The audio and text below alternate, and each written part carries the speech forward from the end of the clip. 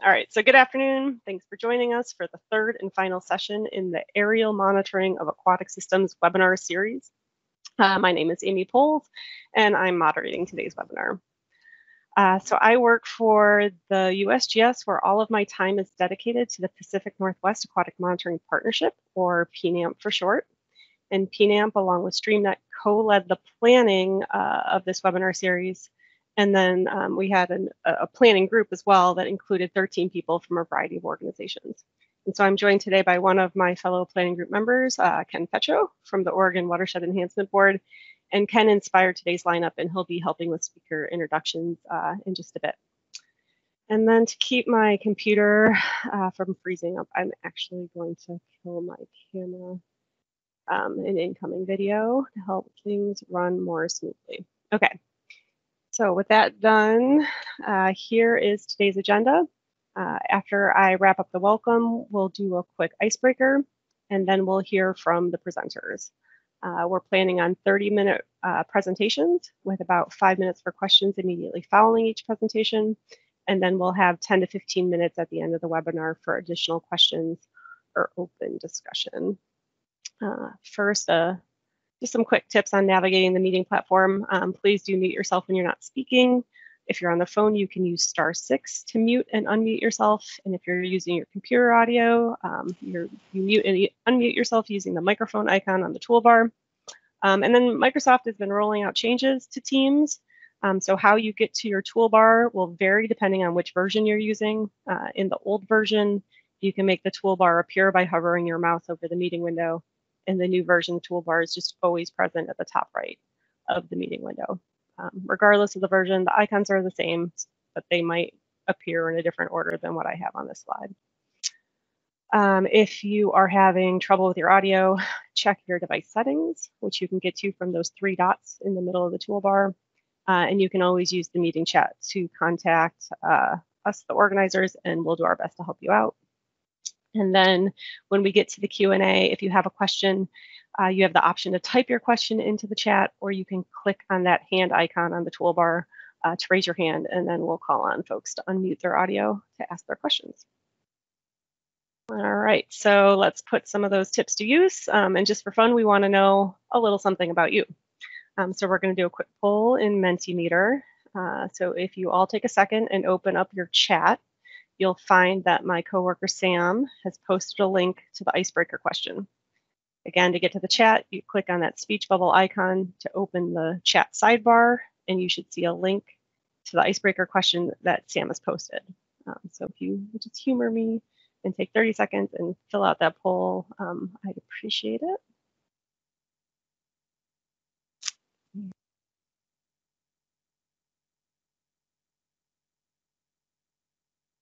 So it looks like results are rolling. Let's see. Let's see what we've got so far. Uh, All right. oh, people are more adventurous than I am. I'm squarely in the in the no category. Maybe a maybe. I don't know. Um, definitely not ready to, to leave planet Earth just yet. Another second. But right now, the maybes are winning. So many people willing to go. I am a little surprised. okay. Um, and I don't know if you noticed, but um, if you had trouble finding the, the link in the chat, um, you can also get to Menti using going, you can go to menti.com and use that code up at the top. All right, dueling it out for yes and maybe. Um, all right, that was fun. Thanks so much for participating. Um, we're going to use live polling again, so this is kind of a warm up for later. Uh, I'm going to pass the microphone over to Ken Fetcho now uh, while Mischa takes the presenter role and gets his slides up. All right. Thanks, Amy. Hi, everybody. My name is Ken Fetcho, and I am the Effectiveness Monitoring Coordinator and Tribal Liaison at the Oregon Watershed Enhancement Board, or OWEB. And I was really happy to participate in planning this webinar series with the other planning group members, uh, the speakers, and Amy. Uh, this forum and others like it are really important in sharing information to allow our staff and grantees to learn more about the latest technology to plan and monitor restoration projects to improve watershed conditions. Uh, so with that, I'd like to welcome and introduce our first speaker, Mischa Hey. Uh, Mischa lives in Corvallis, Oregon, and serves as Quantum Spatial's senior technical domain expert uh, with over 15 years of direct experience developing applied GIS solutions. Uh, Mischa works primarily in development and deployment of biophysical modeling analytics derived from remote sensing data. His current focus includes forest timber inventory, hydrology network and wetland mapping, and terrestrial and riverine habitat modeling. Uh, today, Mischa will be giving his talk on characterizing riverine fish habitat using bathymetric LiDAR. Uh, so welcome, Mischa, and I'll turn it over to you. Uh, thanks very much, Ken. Hi, everybody. Um, I'll apologize in advance if the delivery guy go, shows up. My uh, dog's going to go bananas. Um, but hopefully, I managed to exhaust him this morning and we'll get through this uh, with some silence. Um, feel free to type questions whenever you want. I'm not sure I'll be able to see the chat and present at the same time, but I'm happy to treat this as uh, fluidly as a virtual presentation allows. Um, today I'm going to talk about uh, kind of a relatively new technology, bathymetric LiDAR. I expect many of the folks on the call are familiar with um, topographic LiDAR uh, as a general rule, but um, we'll talk about some of the differences, um, why I think this is a really cool technology for the, the kind of stuff you guys are doing, um, some of the analytics I'm trying to build on top of these data sets, uh, many of which will probably seem familiar to, to a lot of folks, and um, show a bunch of pretty pictures.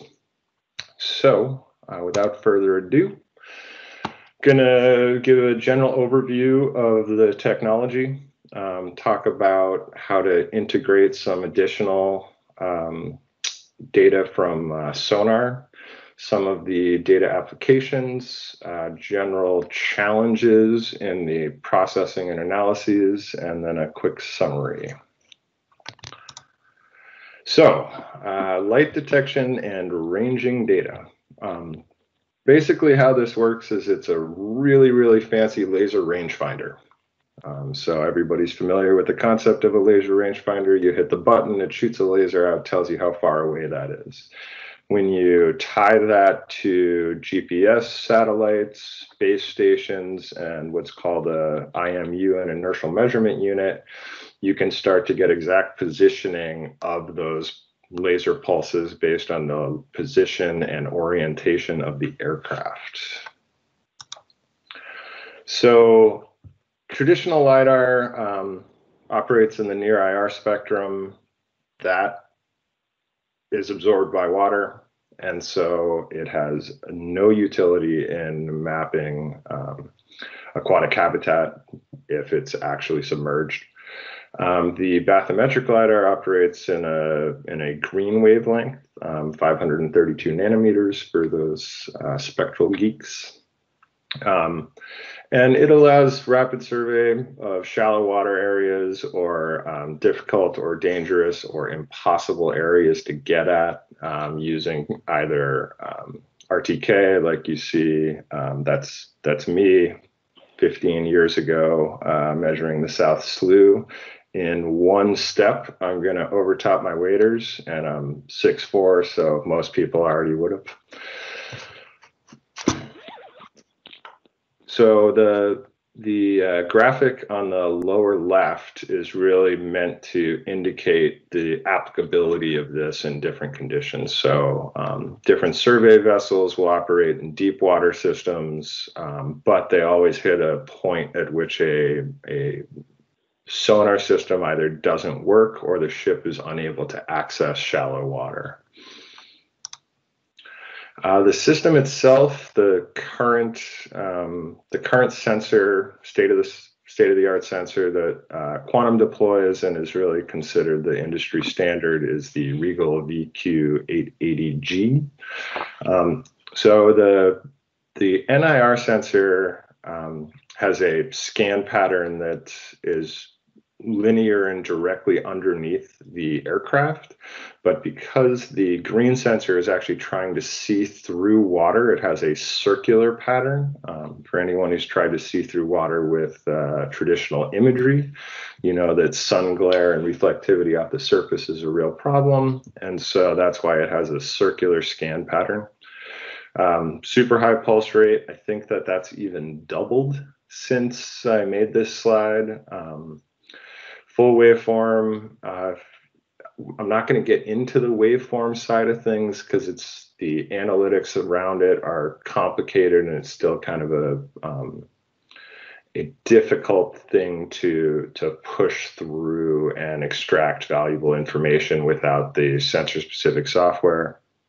Um, typically, these sensors will see uh, 1.5 Secchi depths, um, which is basically how far visible light Secchi depth is how far visible light trans transmits through the water column. Um, you can adjust the beam divergence. It's got a super short pulse length. Uh, this is what the sensor looks like. Uh, this is in a fixed wing aircraft. I believe it's a, a caravan. Um, but we have deployed this in uh, helicopter systems and for some of the really uh, mountainous or high meander rivers, a helicopter system is a lot more effective at the at the mapping. Um, and here's just the kind of operational parameters between the, the two types of LiDAR. Typically topographic LiDAR, uh, we can fly substantially higher um, than the green lidar, largely due to the um, the different wavelengths and eye safety associated with it. So the amount of energy that's dispersed per pulse. So this is uh, this applies to really both green and red, but um, we're going to focus on the green here. So the transmit wave comes out as a tight normal distribution, um, as you can see. But then once it hits stuff on the ground, it comes back with a water surface return is the first spike. We typically get some uh, water column backscatter in between, and then we get a bottom return. Um, so the, the waveform coming back from the system has multiple spikes when you're talking about a, a green sensor in water but if I were shooting a, shooting the same system at a parking lot, for example, you'd get a single uh, spike return. Um, we do have some attenuation of the laser uh, signal in water. Um, turbidity, among other things, affects the penetration and, and detection of bottom returns.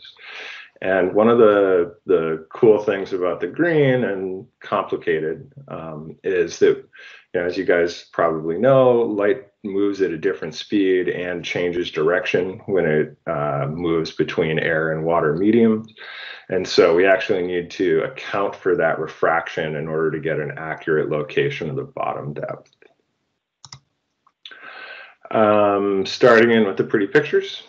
So you can see the difference between what you would get from a near infrared collect there on the top left and then how much detail you get um, from the green collect or the the topobathy collect underneath the water surface there in the bottom majority of the picture. And we'll have lots of these pictures uh, as we as we move along. There's a little cross section of uh, the actual points associated. So you can see the water surface in the dark blue and then all the bathymetry points in orange along the bottom um, of that top cross section. Uh, just another cool picture. This is, I believe this is from the Skagit River. Um, so this is actually just a green collect. We did not fly uh, topo bath or um, topo, an NIR system at the same time, but it's a great illustration of the additional information that you'll get. So this is everything above the water and that's all the detail that we get below the water with the with the green system so um, anything that's really difficult to access uh, particularly with a sonar boat you can start to to pull out some really incredible detail in uh, the bottom of some of these pools Doesn't always work that well though. Um, highly aerated waves. So if we're going over uh, rapids, um, we typically lose a, a, lot of the penetrability to the water. Obviously, turbid, muddy water that you can't see through at all. Um, people keep wanting us to fly the Mississippi, and we keep having to tell them that it's just not the technology for that.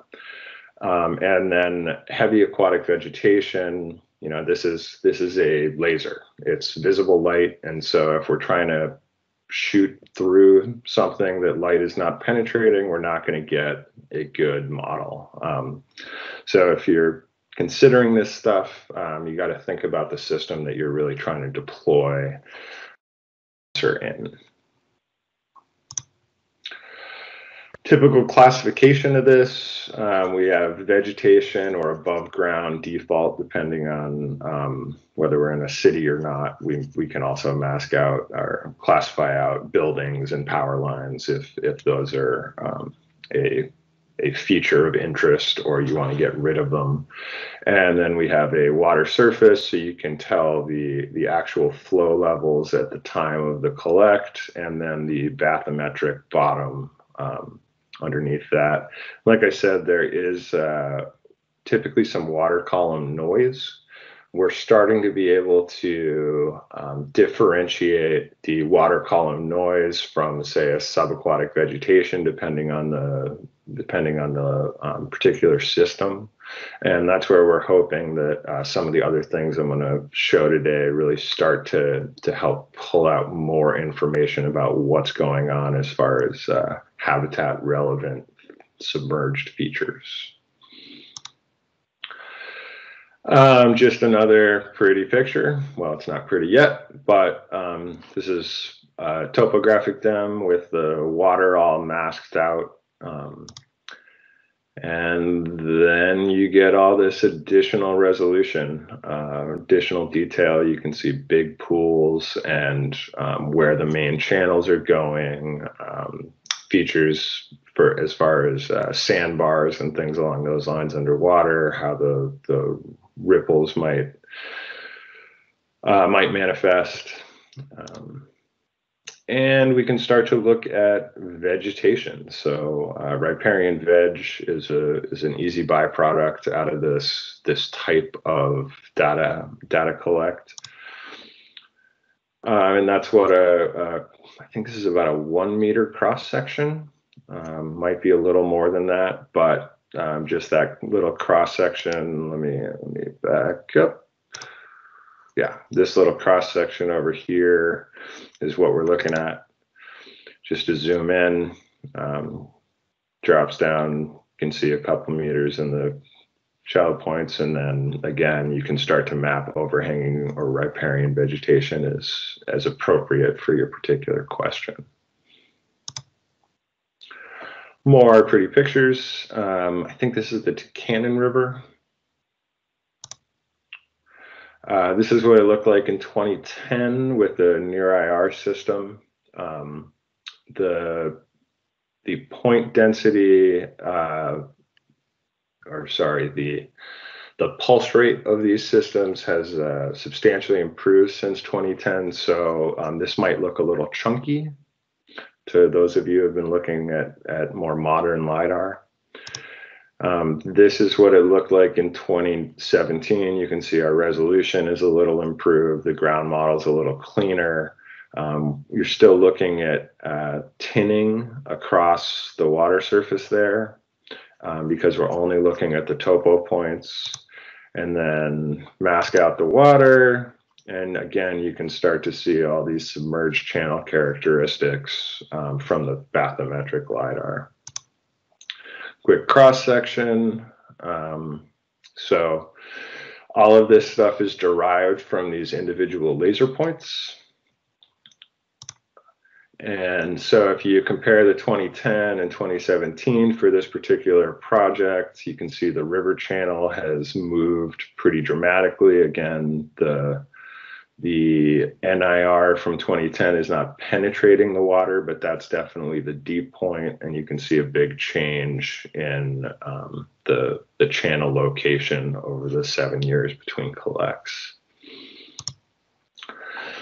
One other thing that uh, we really hope is going to show a lot of, or is showing a lot of promise, and we hope to to be able to deploy some analytics on. Um, we are working with Oregon State at the moment to um, to develop this derivative. But remember when we when I showed you the uh, the waveform coming back to the system, it had a certain amplitude at those uh, peaks and that can be considered the intensity of the return.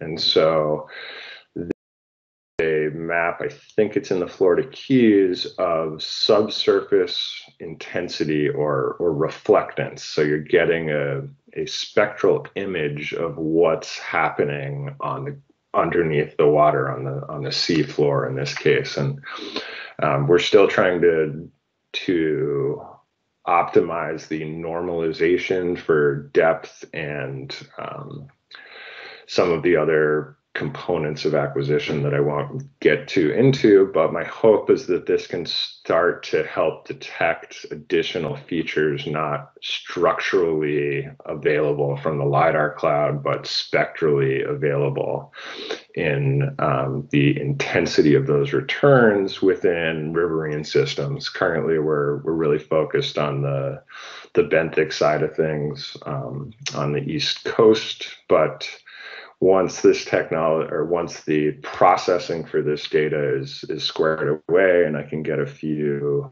projects interested in looking at this um, my hope is that the the riverine intensity is uh, relatively useful for habitat assessment and monitoring. Um, like I said, one of the major uh, advantages to this system is it can get places that other things cannot. Um, so this is a pool in the headwaters of the Skagit River that's about 10 or 12 meters deep, totally inaccessible to boats. Um, nobody's really 10 or 12 meters tall to be able to to do it with a traditional topo uh, RTK survey. So um, this technology is really the, the only way to start assessing some of these features.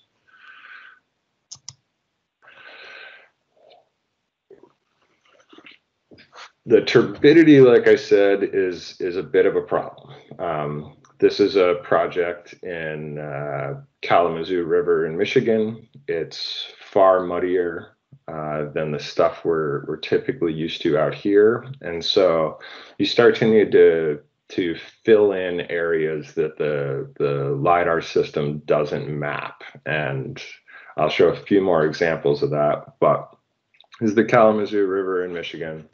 Um, it's a topo collect, which is because the green uh, the green laser also gets returns off the um, terrestrial features. Uh, we call it a topobathymetric sensor. And then we integrated that with a sonar collect, a multi-beam sonar collect to get a, a nice seamless model here. So the topobathymetric LiDAR there in CAN um, really did a great job of mapping all of the shallow areas, largely inaccessible by boat. And then it allowed the sonar group to come in and focus their collect specifically on areas that we didn't map. So ideally, we fly a, a lidar a lidar collect, process everything, show where we did not effectively map, and then can substantially reduce of a, of a ground-based or boat-based survey. If all of this stuff is collected right, um, it integrates almost perfectly seamlessly. Um, our biggest issue with integrating is typically, excuse me, is typically uh, temporal discrepancies over time, as you guys are sure you're aware, uh, rivers and subaquatic systems are inherently dynamic. and um, ideally you collect the lidar at a low flow and the sonar at a high flow so you get nice overlap but that can also result in some some true change once again uh, sonar in the blue green color ramp um, topographic in the blue polygons there, and then the bathymetric LiDAR is everything in between. Um, and so it's really the fusion of these technologies that that give you a, a truly comprehensive picture of the the terrain within the site um, depending on your river system. Some of the some systems we we map really really well with just the bathymetric system, but even in these more complex or turbid areas, um, the the bathymetric system, uh, the bathymetric lidar, uh, really reduces the effort and improves the overall coverage. Once again, just a cool picture of how this data integrates. Uh, this is all from the Kalamazoo River. Once again. Um, this one's a little closer to home. So um, guys are, most of you are probably familiar with the, the Klamath River dam removal. Um, we flew that with uh, the bathymetric LiDAR, integrated it with um, sonar in the areas that we didn't collect to support the, the removal and engineering planning. Rough idea of the uh, of where the system succeeds and fails. Um, so the LiDAR here is in the blue and green, and then some of these deep pools or riffles that you can see, or typically pools in this image, are currently covered by the hash mark. And as our sonar, um, the, the sonar uh, engineers um, collected that, processed it perfectly, and it tied really nicely into our data.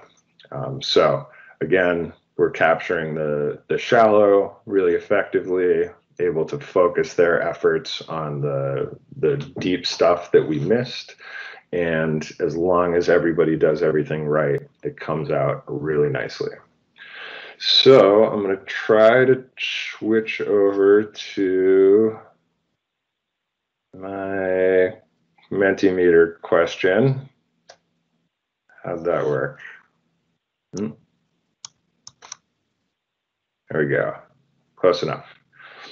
So um, if you guys can take a second to uh, log into the or the chat, I think somebody just sent out. I can't see. Yep, Sam just oh, put the, the link in the chat. And you just go back. Are you going to go back to the display? I am going to go back. there we go. it. Too many, too many buttons.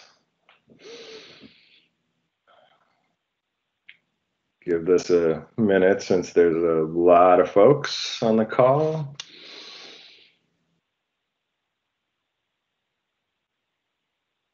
I like the live update. Mm, geomorphic character pulling ahead. How many people did we have on the call? 50 something?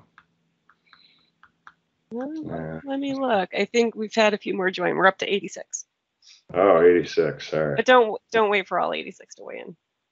Uh, I'll, I'll wait till things stop moving around for a second because I'm actually curious about folks' answers.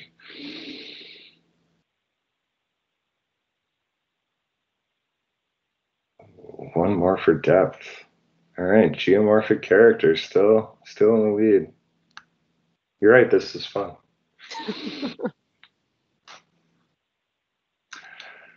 All right, let's call that good. Um, so, ooh, one more for in-stream wood. Obviously, uh, these things are all important. Um, the actual answer, however, is Sean Connery.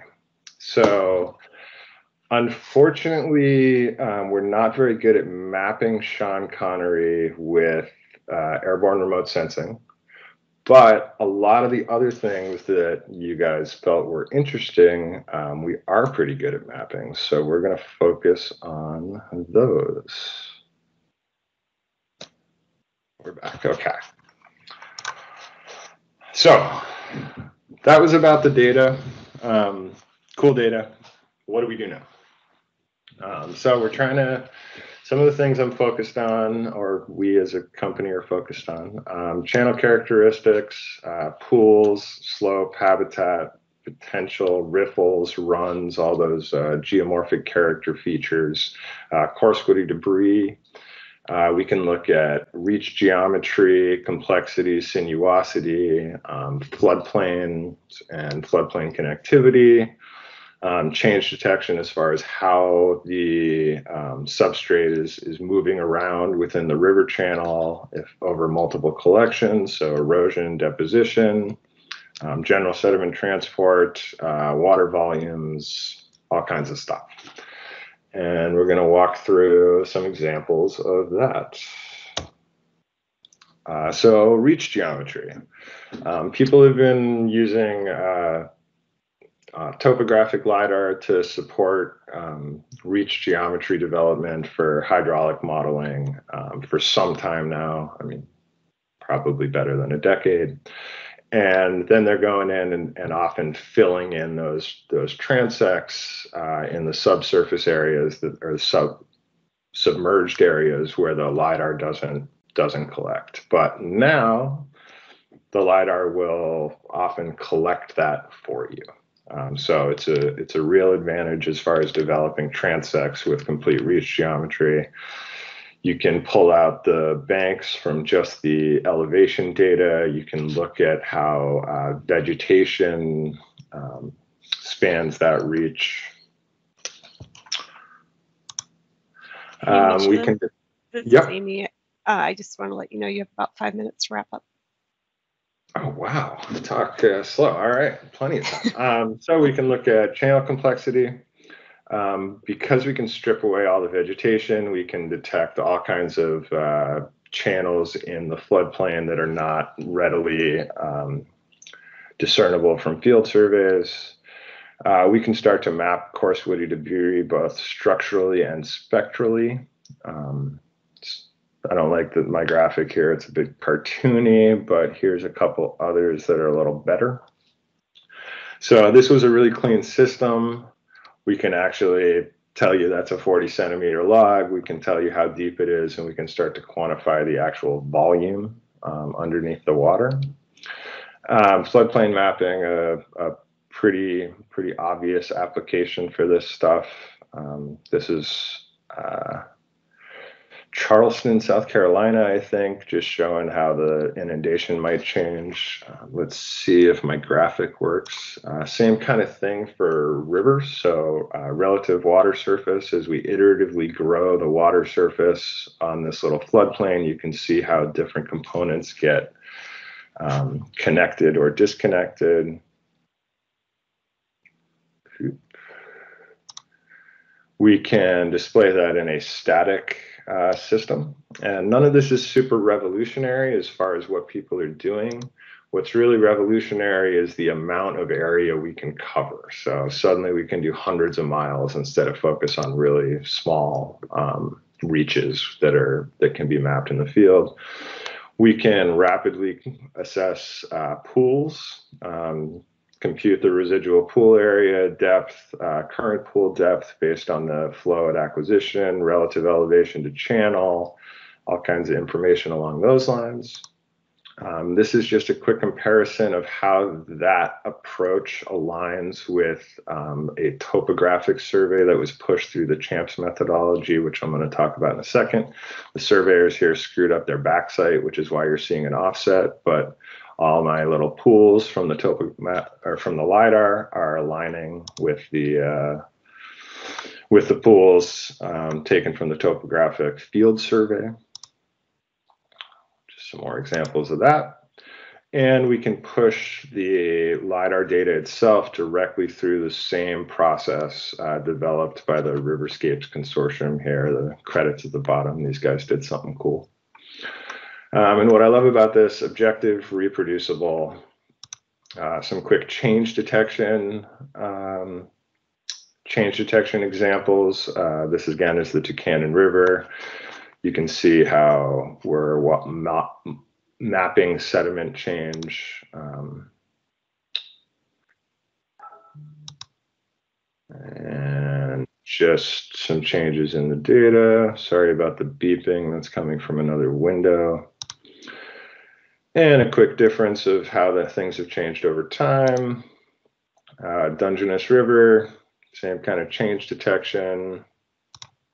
And this is uh, what we've done with this system in the last five years. So the majority of our work has been focused on the East Coast due to hurricanes, um, but there is a lot of work going on in the Pacific Northwest, and this is even a little out of date. So some of the systems that you guys are working in may already have been mapped, and if they're not, we would love to map them for you.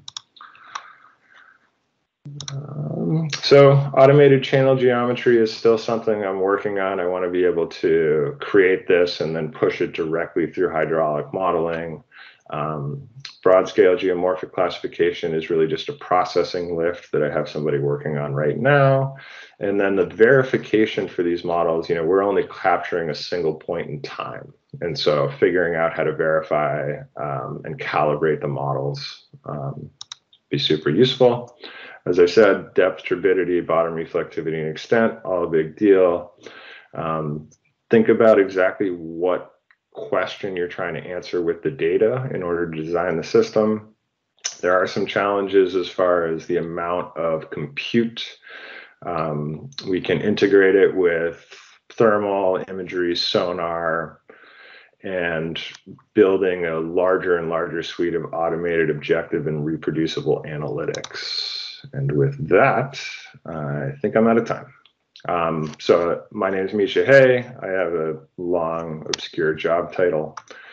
And Steve Raber, if anyone is actually interested in uh, setting up acquisitions or exploring estimates, he's the, the programmer account manager to contact. And that is the end of my presentation. All right, thanks so much, Mischa. That was a very cool presentation. Um, and we do have some time for questions. And so just a quick reminder, you can either type your questions into the chat or you can raise your hand using that toolbar icon and we can call on you to unmute yourself. Um, I see that there is a question in the chat already. It says, from a green LiDAR data set, how would you recommend extracting vector features like thalweg or channel width? Is it possible using Esri software?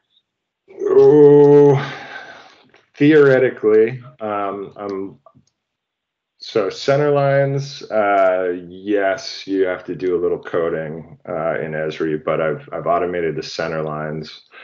Um, the Thalweg certainly interpretable. Um, the difficulty there is the the way that the least cost analysis works. Um, so I'm still working on the uh, the Thalweg side of things. Um, you can you can take a hydrology, a standard hydrologic network approach using flow direction, but breaching the uh, sinks which are the pools, um, is actually still a bit of a challenge. And theoretically, the least cost path analysis should work, uh, but it's a bit clunky in ARC. And so um, we're actually building out uh, some stuff in open source software with with machine learning to try to try to tackle that.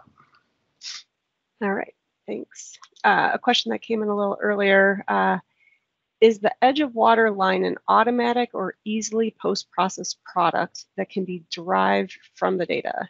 Is this typically an extra step or cost, or is it routine? It's routine for us. Um, I can't say that it's easy in all situations. I've developed some relatively complicated rule sets in eCognition to extract. Uh, depends on the accuracy level that you're after. Um, because we need it in order to refract the data, it's part of our standard deliverables, um, standard intermediate that really anybody that's acquiring this stuff uh, should be providing you. Um, but I can't say it's super easy, and I'm not going to give you my ECOG rule sets.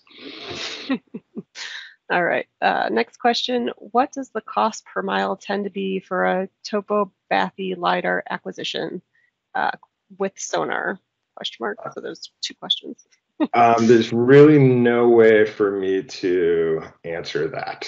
Um, it's all about access, the scale of the project, how complicated the acquisition is due to the timing considerations, um, the the meander of the stream, whether we're in um, canyons, all, all, kinds of things factor in. Um, so I, I, really can't give a cost per mile, but if you're considering this and want to send uh, an AOI to Steve Raber um, or me, and I can pass it along, we can we could certainly work up a quote.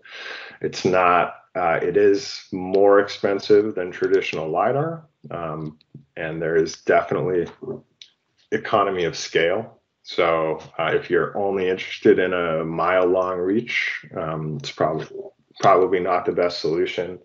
Uh, if you start to get up to 30, 50 miles, um, the the cost comes way down because we're flying an aircraft at about 100 miles an hour, and so um, once we once we position the crew and system and deploy to the site, it gets a lot um, a lot cheaper. So there's economy of scale. I can't give you a clean number.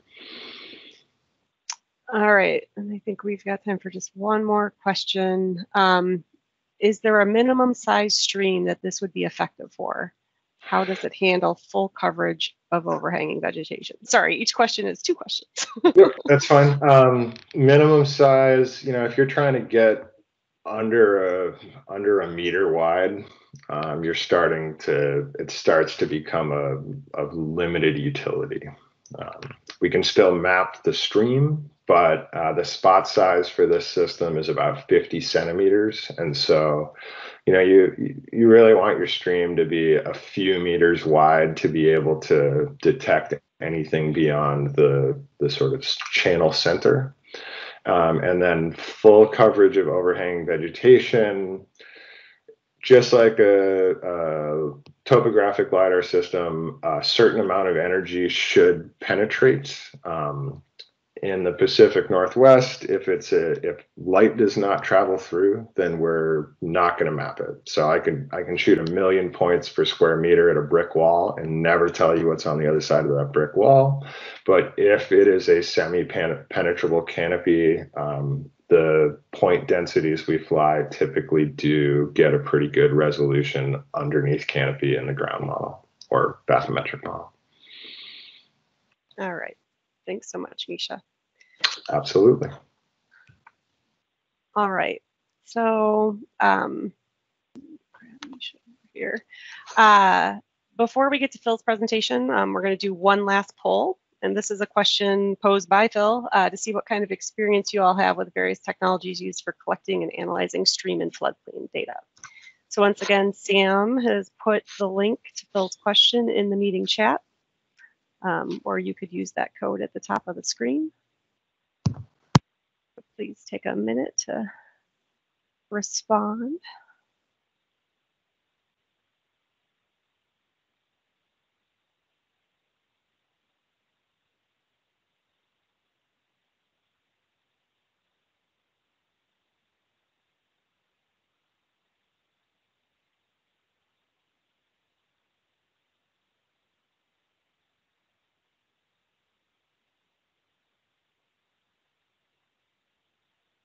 All right.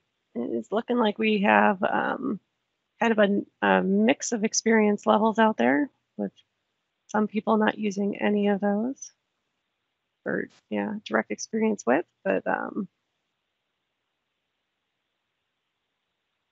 fair number of people having some or experience with all of them. All right. Well, Thanks much for weighing in on that. And I'm going to pass it over to Ken to introduce Phil. And Phil, if you want to bring up your slides in the meantime. Sure. All right. Yeah. Th- uh, thanks, Mischa, for the great talk. And uh, our next and uh, last speaker, Batten cleanup is Phil Roni. Uh, and, you know, I've had the chance to work with Phil in a couple of different contexts over the years. And one of his latest efforts to help the state of Washington develop a monitoring approach for large scale floodplain and riparian restoration projects can be informative for a number of practitioners working on similar projects in the Pacific Northwest. And uh, while Phil has a two page biography, I took the liberty of shortening that to three sentences to just hit the key points.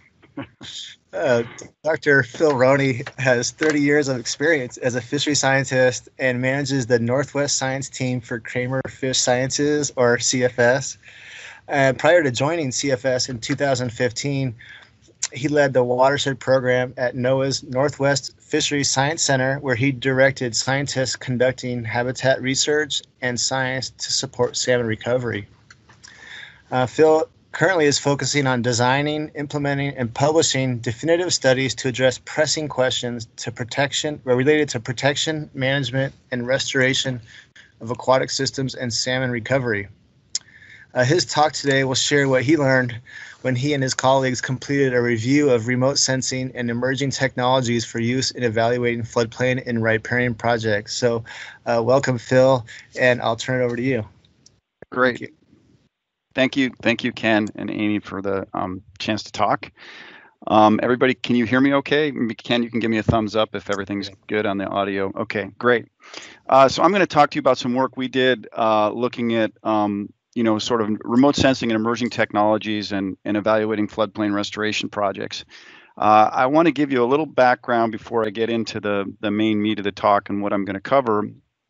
Um, you know, I think it's good to provide some background. I'm not sure if everyone on this call is is familiar with restoration efforts, but realize that we've been at stream restoration for uh, more than 120 years now.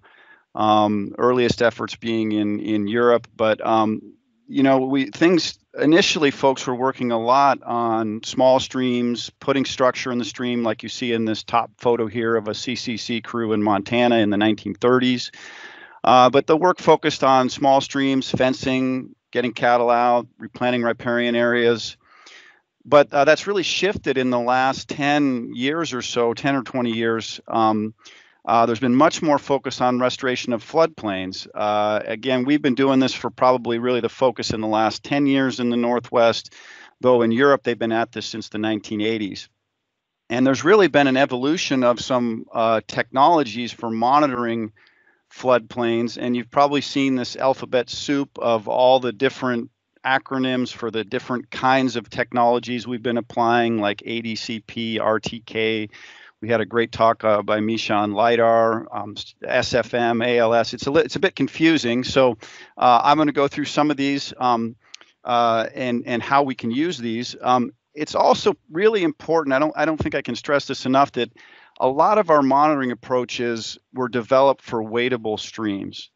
Uh, and when we talk about monitoring floodplain restoration projects, uh, there's some three fundamental differences be, between what we've traditionally done for stream monitoring. Number one, and Mischa covered some of this, is that we need coverage of the entire floodplain in the side channels, not just the main channel or a few of the side channels. Uh, we need to be able to look at this at not just low flow, um, but also at high flow or a variety of flows because we are talking about a flood plain, uh, meaning that we want to see where the water gets when it's at flood. Uh, and we need need to be able to monitor large projects. I mean, we've been pushing for for many years now to get implement a larger restoration projects implemented. And historically, most restoration projects prior to about 10 years ago were on the order of a few hundred meters. Well, now we're seeing projects uh, like I have in this picture from the Middle Entiat on the right that are up to eight you know kilometers or or longer in length. And so we need to have approaches that we can monitor the whole floodplain at different flows and on really large projects. And a lot of our traditional monitoring approaches have not lended themselves to it. So um, we did a large literature review on uh, on well uh, one on effectiveness monitoring of restoration in general, but we focused a literature review on monitoring floodplain projects and looked at a whole bunch of studies that that, that covered their effectiveness. And so I'm going to cover um, both what we learned from that, what are what are some of the the traditional um, methods for for monitoring streams and floodplains uh, and some of the newer approaches. Um, what are the pro- pros and cons of these different methods? And you know, what are our recommendations for monitoring floodplain projects? Uh, and and how does that vary with the size of the project and the number of projects you might be monitoring? Now, as I said, we did a literature review on this, and this originally came from a review that we have more than 700 papers on uh, restoration effectiveness. About 200 of those are on monitoring actually floodplain uh, effectiveness of floodplain projects. The earliest studies go back into the 1980s, and you see that there's really been a growth in the number of studies that are looking at floodplain uh, effectiveness, and this is both because of the popularity of, of the actual restoration of floodplains and a lot of these new emerging technologies. I think the only reason you see that there's not very many studies in 19 and 20 is because we did this review in early 2020 and it takes a while for the literature to get into the, the databases. So here's some of the common metrics that people have been monitoring and continue to monitor on floodplain projects. Uh, channel morphology, mesohabitats, that's pools, riffles, glides, large wood, um, you know, more than half of the studies, or about half of the studies, focus on on looking at um, uh, mesohabitats, pool riffles, and that type of thing, and that's because they're very important to fish. A quarter of the studies are looking at floodplain morphology. Um, you know, you see about 70, you know, 80 or so of the studies are looking at fish. Uh, so you can see kind of the smattering the type of things. That the most important, I'm gonna, the ones that are kind of bolded here are ones that I'm gonna talk about some of the approaches. I don't have time to talk about all these things but I'll, I'll, I'll focus on a few of those and some examples. So let's talk about uh, channel and floodplain morphology. So historically, uh, you know, we've done, and in, to this day, we do what we might call a stick and tape survey, which is basically people in the field measuring and counting uh, the pools and, and, delineating the pools and riffles. Um, uh, and, you know, we've got some newer approaches. Um, uh, two of these are uh, structure from motion and LIDAR. Uh, uh, Mischa's talked quite a bit about LIDAR and gave a real good background on that. Um, the the the other thing to keep in mind is when we talk about these surveys, the field um, versus kind of you know these field surveys versus remote sensing. The big changes are is with the remote sensing, we can get a couple of those things I talked about that we need for monitoring floodplain, floodplains. We can get continuous coverage um, when we do a traditional field survey, you're if you're able, if you're just doing a, um, if you're just classifying units, we're not going to have very high, uh, what you might call point density. If you're using an RTK, you're still not going to have that high a point density. Um, but with LIDAR, we're going to get lots of, of points per square meter. Um, we can map the entire floodplain and we can model it at different flows. And this is just a picture from a, um, the Southern Cross project on Catherine Creek in Oregon, and it's showing um, before and after restoration and and uh, at a bank full flow how much of the floodplain is now actually uh, uh, inundated and accessible for fish. So um, one of the things that, and I will say one of the other things that's informing my presentation is we did two pilot studies uh, one is we compared a bunch of newer uh, floodplain monitoring approaches across four sites in the Columbia Basin. I should say one in, in Western Washington and three in the Columbia Basin to compare a bunch of these different approaches for monitoring floodplain projects, as well as look at some of the new uh, uh metrics and stuff that have come out of, of uh, some very recent European studies. And so one of the big ones that, that came up as we kept uh, you know, people have talked about using structure for motion versus lidar, and I have a, you know, as an image of structure for motion on a pro uh, uh, here on a project. I believe this might be on the Tucannon, um, and uh, uh, the lidar on the on the right. Now, um, and this is lidar we flew with a a, a drone. Uh, you can see this cross section um, that shows the structure from motion. Now, a lot of this site has grass, so you would think that the structure from motion would give you a good representation, but it's getting the surface returns.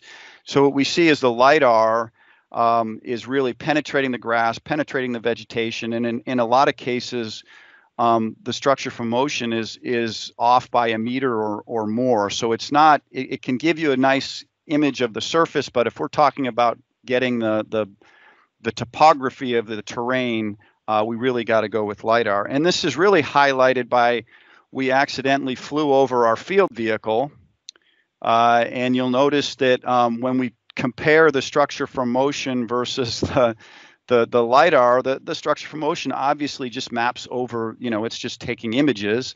And um, it it it's telling you that the the top of the car is the ground. So uh, obviously it's not performing that well but but kind of a neat um, demonstration of it's just you know really lidar is the superior uh, technology here for this. Um, so the other thing in, uh, is looking at mapping the bathymetry and i, I think uh, mischa covered this in in pretty um, good detail here uh, you know, there's a couple ways for getting the bathymetry. Obviously, green lidar um, is is kind of the ideal approach, and as as Mischa indicated, it's not going to be suitable in all situations, and may need be to be may need to be coupled with with some sonar or some um, ADCP uh, surveys. Um, the other approach for getting it is to use an RTK um, and map uh, the the the depth uh, again, there's some depth limitations. You can use an ADCP with a, on a raft or a, um, a drone to get the, the deeper areas. Um, and then you can do some of this with a total station. Again, that's going to be you're going to be limited in what you can do. But really, getting that bathymetry is pretty important so that we can map the habitats that are important for fish and uh, look at the whole uh, floodplain. So habitat units, um, you know, again, historically we've done this with field surveys, and we continue to do it. Uh, and with some of the newer technologies, with lidar and aerial imagery, we can we can uh, map these a little quicker and more continuously. Um, the the top image is just a couple people preparing for a, an RTK uh, survey out uh, in eastern Washington. And then on the bottom is, is classification of habitats with uh, aerial imagery from some work by Massimo Rinaldi uh, on floodplains in, um, in Italy. So um, the field versus the, the remote sensing. Here's this is a good image of traditional field surveys and what you get and their coverage and what you would get from LIDAR. Uh, so, um, and this is LiDAR. We flew with a, a drone on the right, um, though, of course, if you're flying large areas, you're going to want to use a, a, fixed wing aircraft. Um, uh, the um, uh, the image on the left is a, is a CHAMP survey, and you can see the habitat units that have been delineated with CHAMP, and you can see the extent of the survey. Uh, it completely misses um, the uh, entire floodplain. Uh, and that's just a problem with the, the traditional habitat surveys. Um, and something that, you know, again, why we want to use remote sensing to look at floodplain projects and look at their, their change. The other thing to keep in mind is the CHAMP survey on this with the total station uh, took about three days. Uh, the LiDAR that was flown here with a drone took a few hours. So um, the other thing about classifying the habitats with remote sensing, while we can pick out pools, and there's some work that's been done to use this geomorphic unit tool, which was, uh, you know, I, Mischa showed this too as well. Um, it, it's a good way of classifying uh, different um, uh, geomorphic units, but it's not exactly consistent with how we're classifying habitats for fish. So what you see is the inset here shows an area that the habitat survey delineated as as a pool, but the um, the geomorphic unit tool and some of these other ways of examining the the geomorphology uh, will get you very detailed. It, it, breaks the pool up into several little subunits. And so one of the challenges for using the remote sensing to classify habitat is classifying it into habitats that we know and have good evidence for are meaningful for fish. Uh, so there's still some work to be done on that. Um, I, I, was uh, interested in the Forest Service presentation that was last week, I believe, where they were classifying um, uh, riffles, pools, and glides pretty consistently. And so that's that's something to be looking at. But that's one of these things that's being that's kind of in development and still needs to be uh, ground truthed. Uh, large wood, um, uh, Mischa talked about this too as well, using LiDAR for this. You can see some of the, the approaches, the, the, the historical or, or, approach we still use on small streams is to actually count and measure each piece of wood. Um, you can use aerial imagery and it works pretty well when you're looking at um, uh, areas that don't have a lot of vegetation, or we can use uh, LiDAR. Um, and which of these is most appropriate, you know, is partly going to depend on your the, the size of the area you're looking at and your questions. Um, uh, I, I think one of the other, you know, one I think what I was trying to say earlier is we had two pilot studies studies we did along with this, and I forgot to mention the second one, which is on the Middle Entiat, which is a restoration project of about eight kilometers. We did a pilot study to to to monitor that um, before and after restoration uh, using a combination of remote sensing and field surveys. And this is some data from that where we basically it's an eight kilometer long reach. So for us to survey the wood in that reach uh, would um, take us uh, would probably take the field crew a week or more. Uh, and in a stream that had higher densities of wood, it would take much longer. But we were able to a technician using the the aerial and satellite imagery can delineate the pieces of wood uh, and get good, pretty good counts in the active channel. Uh, this took the technician about uh, five hours to do this, to count all the pieces of the wood, delineate log jams, and and get their location on the floodplain. So really a huge, huge time savings here compared to a traditional survey. The utility of this obviously will depend on what your questions, your monitoring questions are, but in, in this case here, we were just looking for broad scale changes in the patterns of wood. So um, moving to the um, the another area, and this is not really remote sensing. I think there's a lot of um, um, there's a lot of emerging technologies, and sometimes we refer to them as remote sensing. And I'm not sure if some of these methods for sampling fish fall into remote sensing, but they're definitely some emerging technologies. So historically, we've measured fish uh, with snorkeling, like you see these couple of my staff doing snorkel surveys in the Entiat. Um, or we've used electrofishing, uh, mark recapture with either electrofishing or seining. Uh, and we still use those today. And those are methods that require um, getting your hands on the fish or getting in the field and actually measuring them. But there are some newer methods for looking at um, uh, for estimating the abundance and presence of fish. And one of those is uh, environmental DNA. Now, I'm not going to give a, go into detail on this, but suffice to say that by taking a water sample um, we can determine which species are present. And that's because all, all uh, organisms are sloughing off DNA. So aquatic organisms are, are sloughing off DNA into the water. And by taking a sample, uh, we can process that in the lab and they can determine which, uh, if there's DNA, for, for which species there's DNA presence. Now, it's great for presence or absence um, you can look at the relative proportion of DNA to say, you know, how much of the DNA is from what organism, but it's not to the point yet that you can actually look at the abundance of fish. And that's partly because the size of the fish or the numbers of the fish will determine how much uh, DNA is in the water and whether, you know, when they were last there, the DNA um, is in a stream is going to be transported downstream, but also some of it's going to settle out. So there's a bunch to be worked out on that, but it's it's a good way of looking at presence of ab- absence of species. Uh, you can look at the otolith microchemistry. The otoliths are the ear bones of the fish. Uh, we can actually take a cross section of that and in the lab examine the chemistry, compare that to the chemistry of the water in different habitats the fish are found in, um, and determine uh, uh, the life history of the fish, the residence time, and and I should say an otolith is similar to a uh, a scale in that the fish lays down a layer every um, actually every day, so you can it's it's going to have the same kind of concentric rings. And then another thing using gen- genetics uh, is genetic mark recapture. So um, sometimes called kinship or, or parentage analysis, and basically by taking samples of both the juveniles and adults uh, and you're able to determine their their parentage uh, and determine um, whether what the population size is. And this graph here I have on the bottom is just uh, some estimates of how many juveniles or adults we might need to sample to estimate the total population of fish. And uh, it's also got the different, you know, coefficient of variation. Um, and this is from some work we're doing on monitoring on the Lewis River.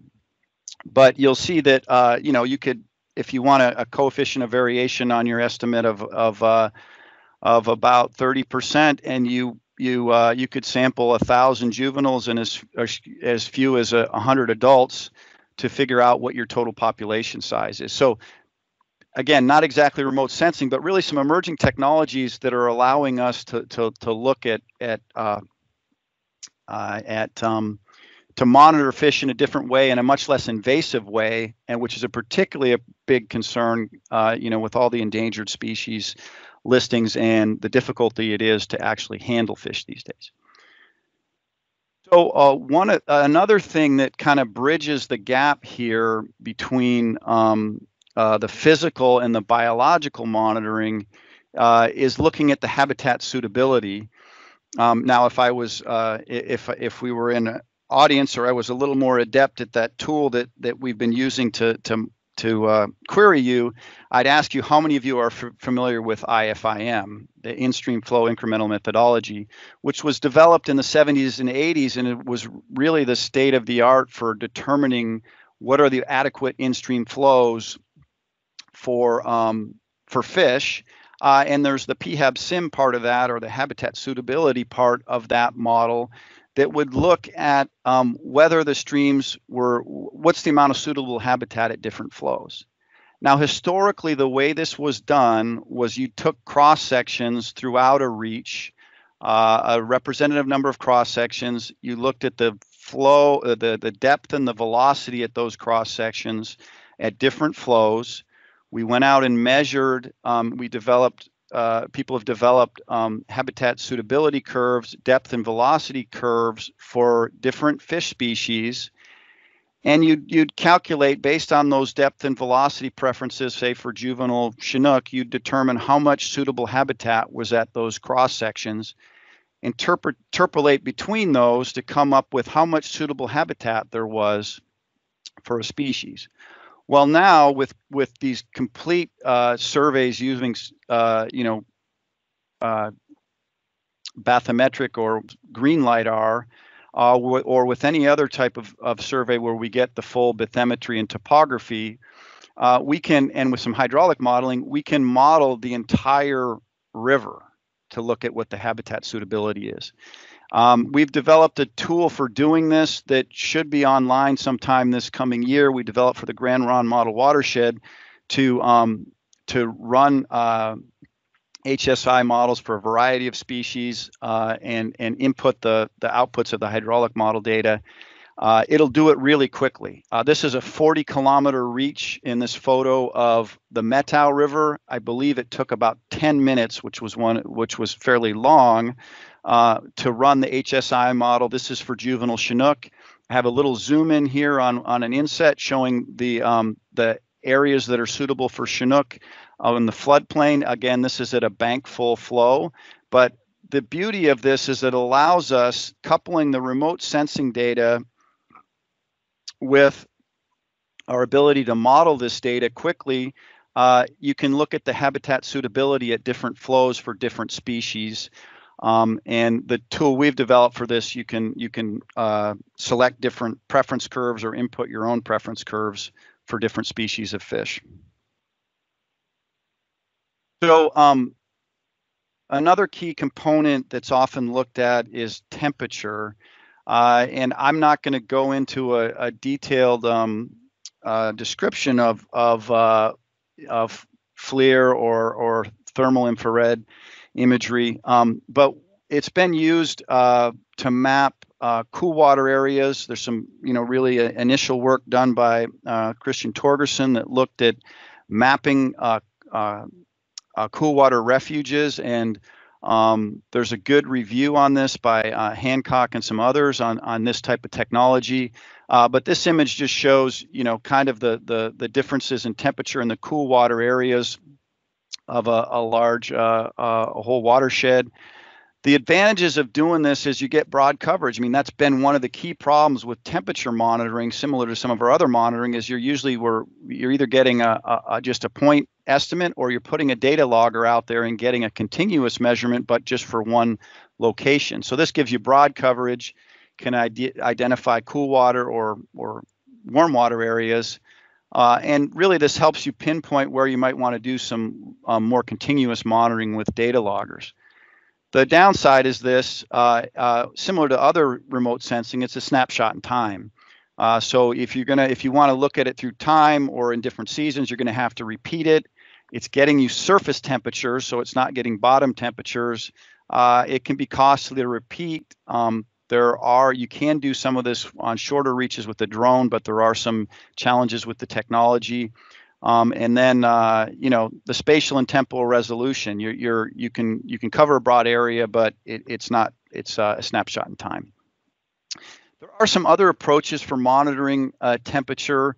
Um, there's uh, there's also um, uh, you can just map the temperatures. We were mapping this reach with an RTK, so we put a uh, temperature probe on the the target so that we could map all the the temperatures on the the the sort of a temperobathymetric survey, and it shows what the, the temperatures are along the bottom of the stream.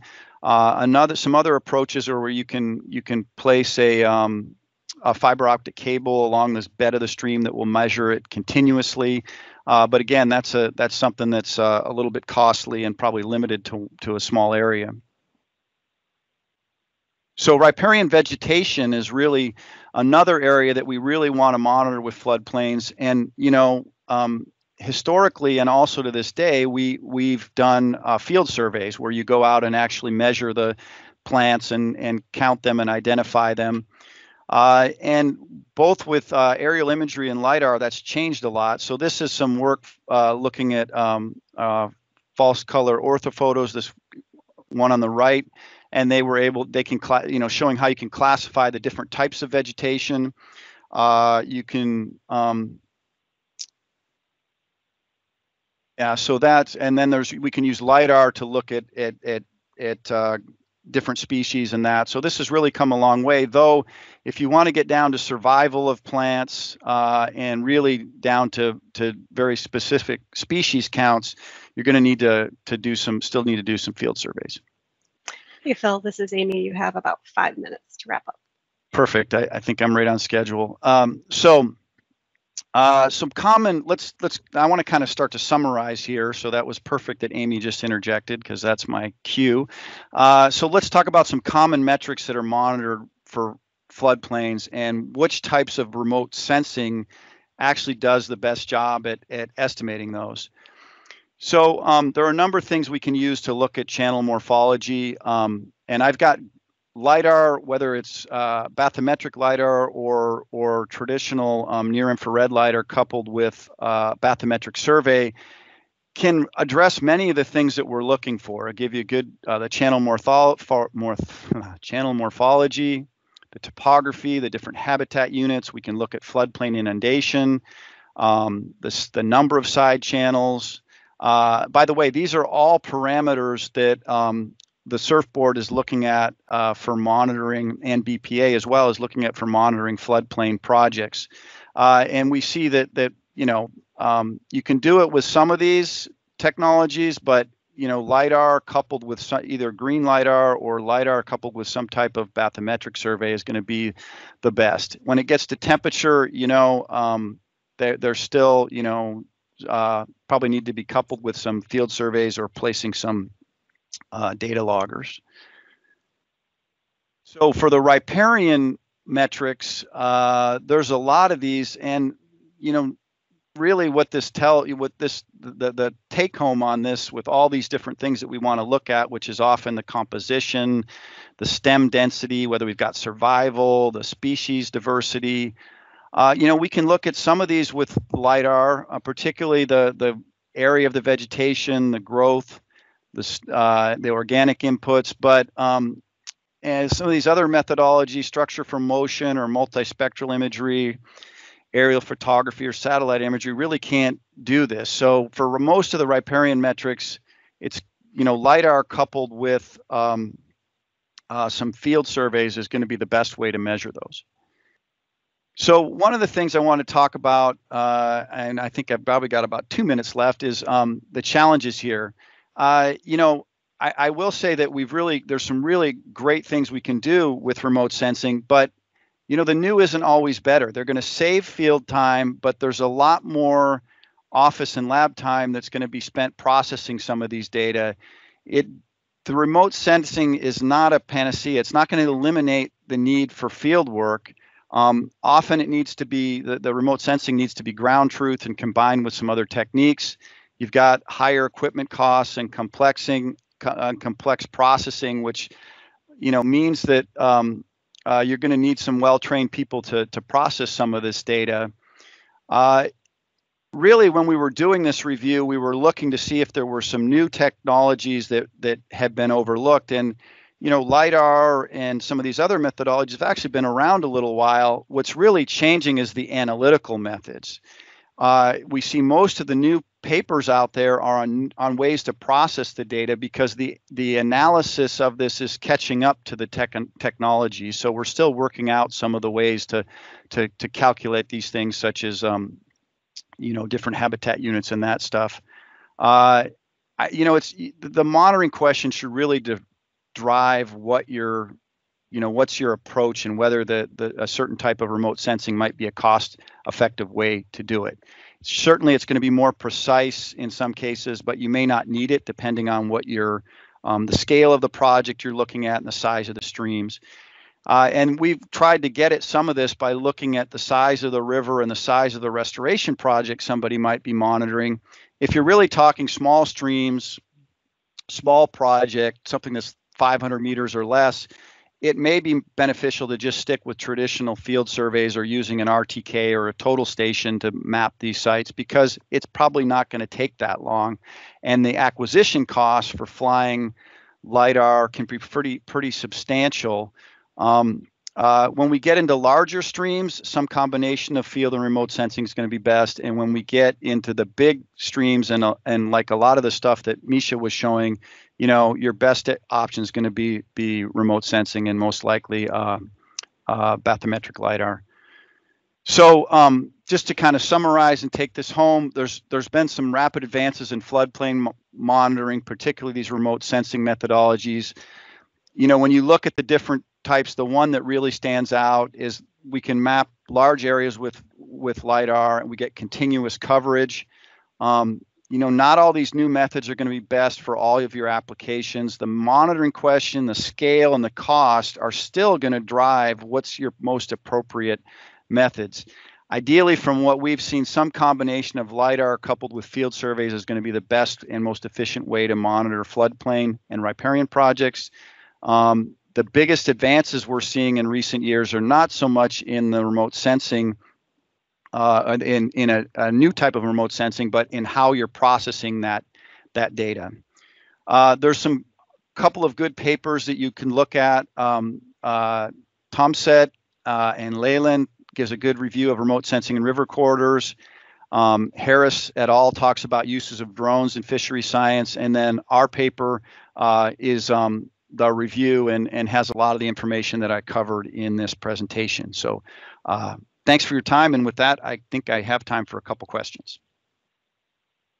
Yes, there are definitely time for questions. Um, so again, you can either put them in the chat or you can raise your hand using the toolbar icon.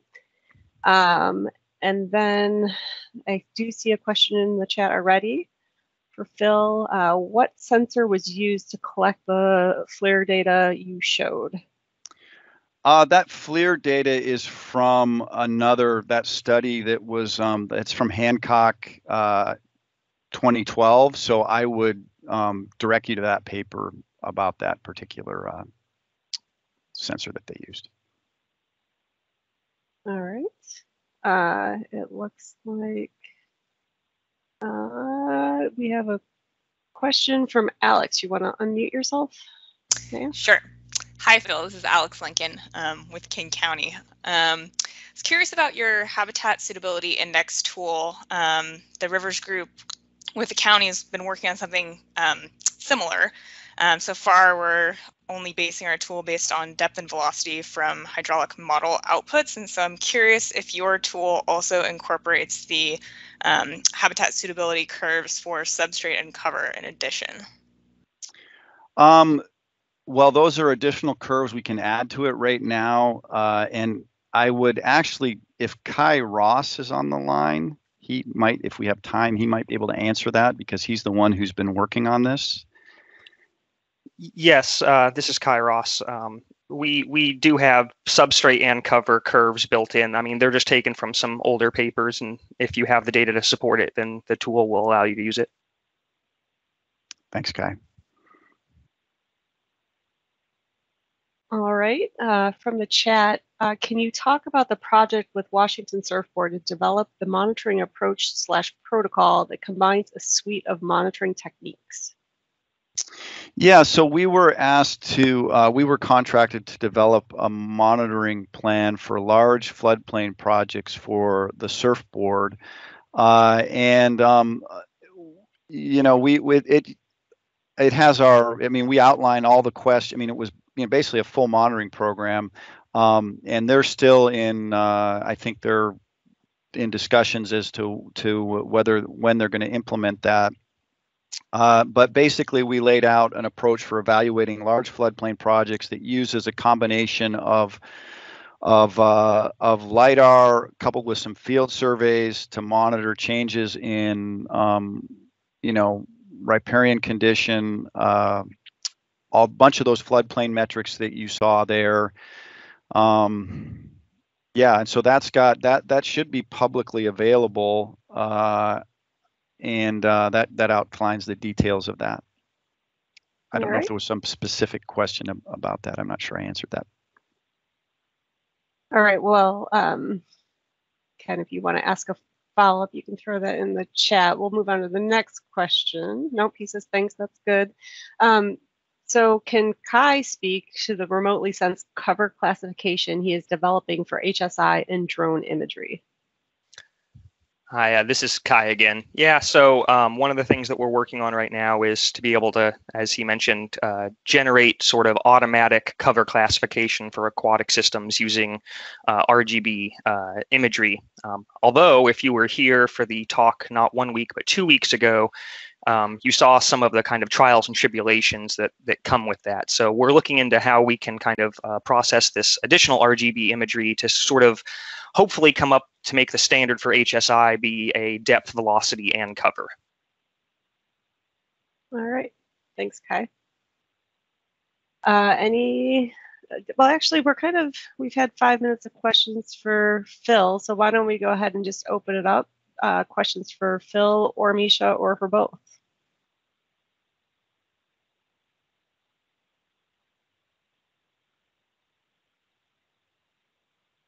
Can I ask Mischa a question? This is Phil. Yeah, go for it, Phil.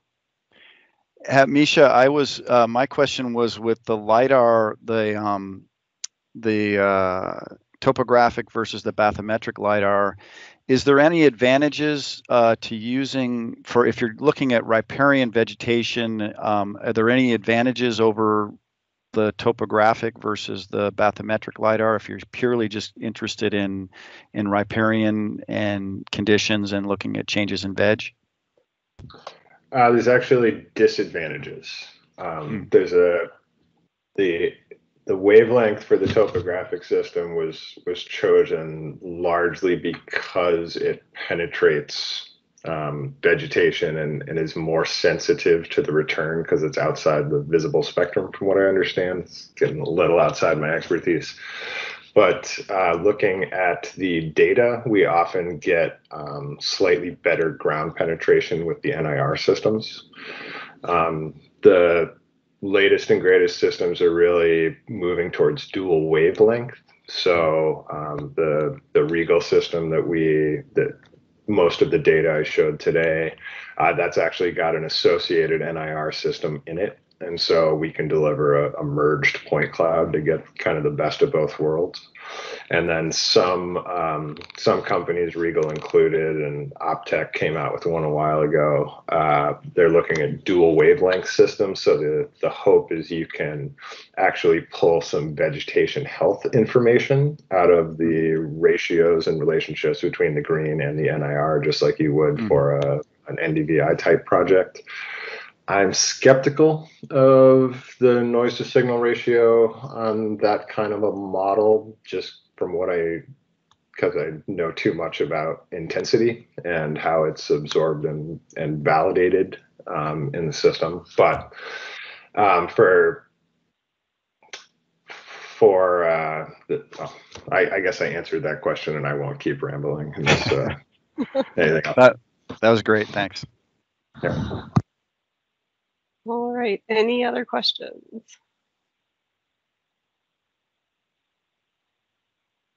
Going once. Going twice. All right.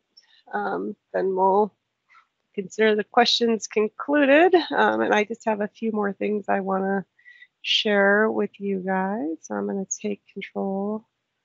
Hey, Screen Amy, back. this is, this is uh, Seth. Sorry, can you hear me? I can hear you, Seth. Yeah, sorry, I'm slow off the draw. I was trying to find that unmute button. Uh, I really appreciated both presentations. They were both really good and informative. And um, something Phil said really struck me because I've been thinking about it recently about, um, you know, the real cutting edge with this kind of work and research is how to process the data. And I see that as getting, you know, very highly technical, and it almost seems like, um, you know, like a new field emerging of people who are going to have these really technical skills.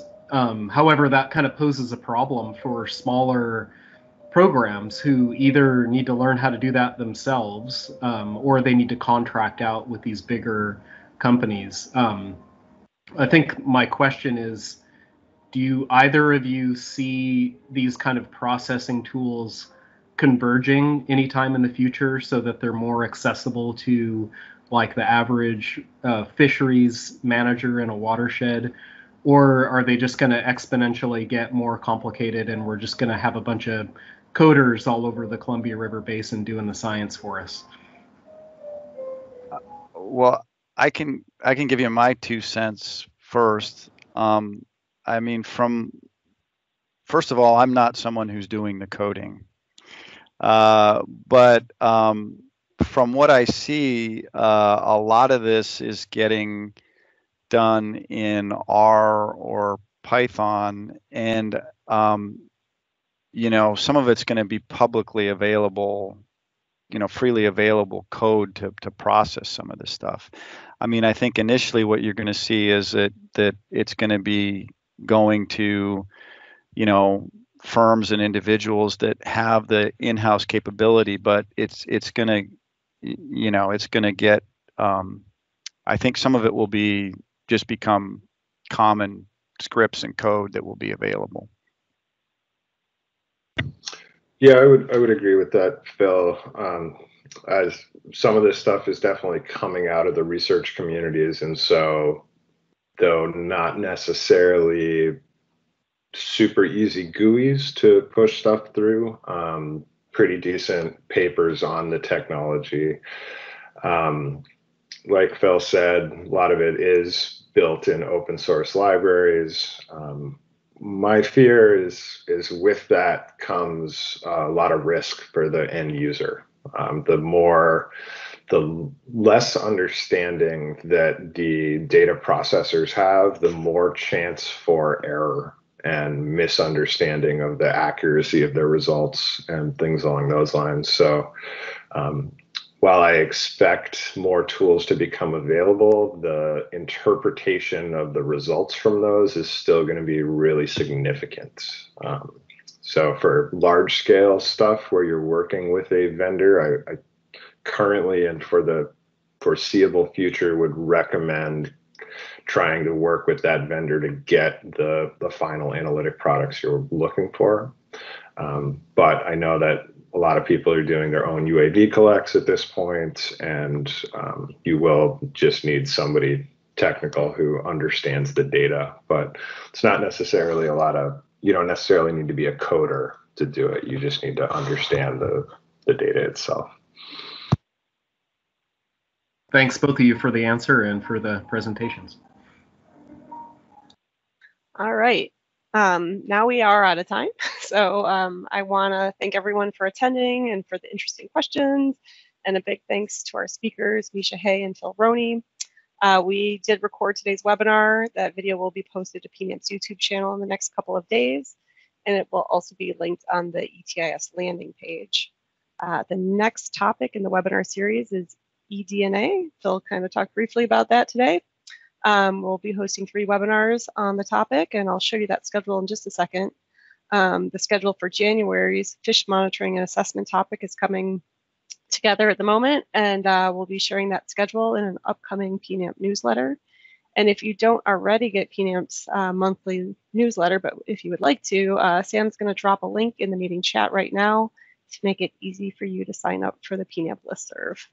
Um, and then we also um, always post all the updates to the schedule on the ETIS landing page as well. Uh, so here's that schedule uh, for eDNA. Uh, like this series on aerial monitoring, uh, eDNA webinars will be Tuesdays at 1 Pacific. And the format's going to be just a little different in that there'll be uh, one 45 minute long presentation followed by uh, Q&A. Um, I don't know if we'll fill an entire 45 minutes with Q&A, but uh, we have that time set aside. Um, and then the last thing I wanted to mention is that we'll be sending a questionnaire to folks that attended the aerial monitoring webinars, and we're looking for your feedback on how the webinars went and also uh, ideas for future events. So it should take less than five minutes to complete, so please keep an eye out for that. Um, I should be sending that tomorrow. And that concludes today's webinar. So thanks for sticking around to the end and have a great day.